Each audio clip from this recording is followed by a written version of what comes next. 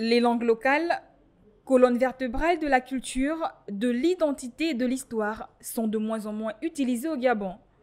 Selon le spécialiste, plusieurs facteurs pourraient expliquer cette situation. Mais à présent, mais qu'est-ce que vous voulez? Dans le foyer, euh, la mère travaille, euh, euh, le, le, père travaille, on laisse le petit enfant dans les bras de quelqu'un qui ne parle ni la langue du père ni celle de la mère, ça c'est la première chose.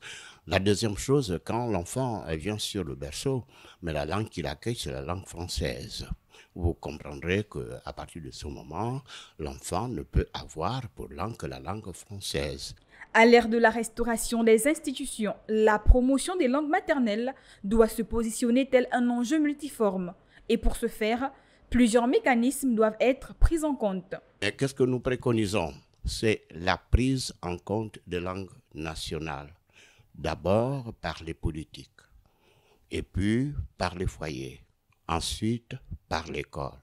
À partir du moment où, n'est-ce pas, ces entités vont, n'est-ce pas, se réunir autour des langues, nous allons voir que, au lieu que l'enfant soit un Français à la peau noire, il sera un noir à la peau noire. Malgré le développement constant de la société, la promotion des langues locales est un moyen de valoriser la culture.